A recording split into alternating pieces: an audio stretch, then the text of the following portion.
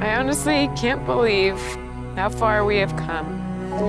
From the stress of being so far apart when we were dating and dealing with you getting your visa. And now look at us celebrating 11 years together. Thank you for being the best husband I could ask for. You give me comfort.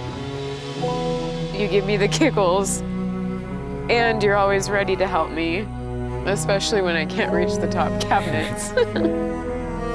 Smoochie, I love you. We've said it so many times over the years, and uh, many other people have said it too. It's everywhere.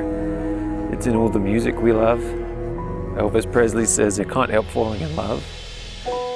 Taylor Swift has her love story. and even Selena Gomez, Love You Like a Love Song. but it's quotes everywhere. Everybody talks about love. They say, I love you to the moon and back. They say, where there is love, there is life. And our favorite, live, laugh, love. but what I've come to realize over these past few years is all of it is true with you. Every song written about love is how I feel about you. Every cheesy quote or line is how I feel towards you. So anytime that you hear a love song or anytime you read a love quote, just know that when I say I love you, that's what I mean.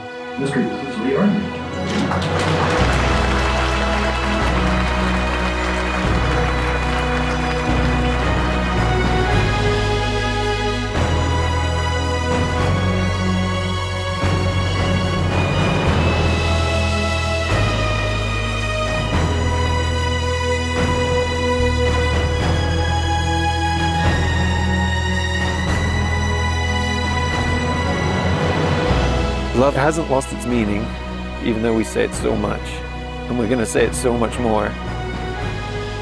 Love has instead gained more meaning for me every year and every day that we spend together.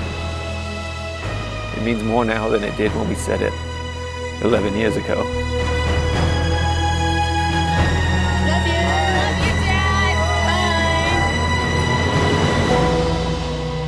I can't wait to see what Jehovah has in store for us in the coming years. And it makes me so happy to see how we have grown spiritually together. All I can say over and over again is thank you for always making me feel loved and also being my best friend.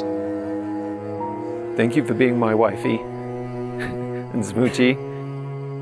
I love you.